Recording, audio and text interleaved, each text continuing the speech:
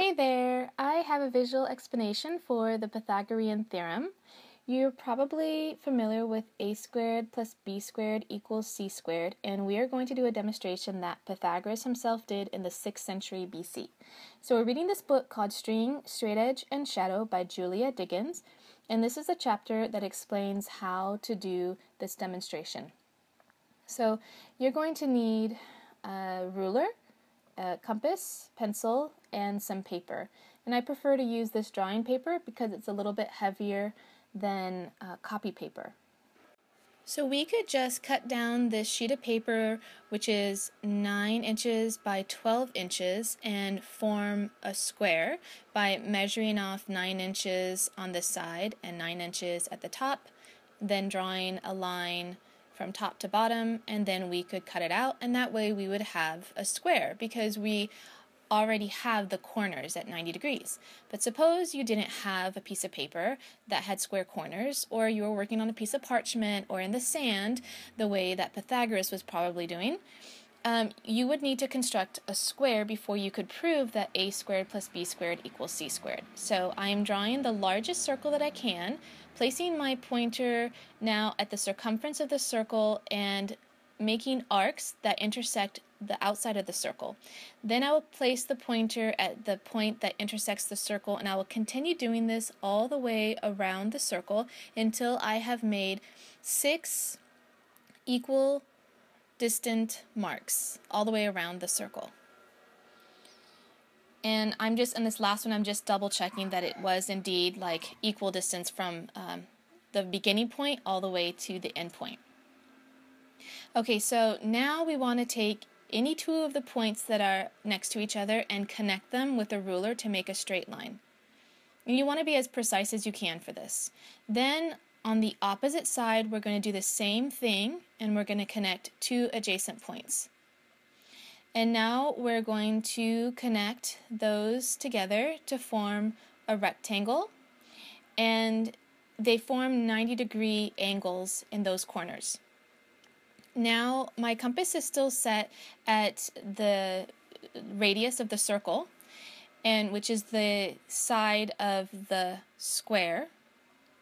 And I want to get the other sides of the square. So I just placed my compass at the corner and then I swung the compass around so that it would intersect the line that created the rectangle so that I would know where to create my square. I know this sounds confusing, but I hope visually it makes a little bit more sense. And then I can connect those two intersecting lines to form a square. So one side of this is a square, the other side is a rectangle. Okay, so all this was just to construct our square, and if you'd like to see a different method for constructing a square, you can click the box in the upper left side of the screen. So now we want to construct a smaller square within this square, so I'm reducing the size of my compass so that I can position it in the corner and draw an arc that intersects each of those lines, and that way I can construct my smaller square. And so now I'm going to position my compass on one of the lines, one of the arcs that cross the line, and now I'm going to make an arc out in the center of the page. And then I'm going to do the same thing on the other side and make another arc, and where the lines cross is going to be the corner of my square. So I'm just going to go ahead and connect this point to the side of the square, and I'm going to do the same thing on this side. So I felt like I had drawn this a little bit off, and so I'm just going to uh, double check that my arc was in the right place. And I'm going to draw that arc, then come back to the other side and draw it again. And where those two arcs intersect is the point that I want to draw the corner of my square at. And so now I'm just going to take my ruler again and I'm going to draw that line and then I'm going to reposition the ruler again and then draw the last side of that box. And now I want to extend those two lines all the way up, up, and then all the way to the left. And so I'm going to take my compass again and position it at the edge of that large box so that I can draw my intersecting arc along that line. Then I'm going to do the same thing on the other side. And you want to make sure that your compass doesn't shift sizes while you're doing this project. And so now I can connect both of those lines, or rather both those dots to create that line. And then again, I can do it on this side. So anything that's not totally accurate is human error and not mathematical error. So the next part of this project is to construct triangles within the rectangle. So I'm going to draw diagonal lines from one corner to the other in each of these rectangles. And we will have created right triangles in which the short side of the triangle is next to the small square and the long side of the triangle is next to the large square. And now we just need to um, prove that the square, which is part of the hypotenuse, equals a squared plus b squared. So I thought that looking at it uh, as a picture might be a little bit easier as well as labeling up these different parts so that we could have a better understanding of what we just made. So we have the upper small square as a squared and the larger square at the bottom as b squared. We have our two triangles in each of those rectangles that we have constructed to show that the a side of the triangle is next to a squared, and the b side of the triangle, which would be the shorter, or rather the longer side, but not the hypotenuse, is next to b squared. And so we want to show that a squared plus b squared equals c squared by showing that the hypotenuse, the square of the hypotenuse, is actually a squared plus b squared.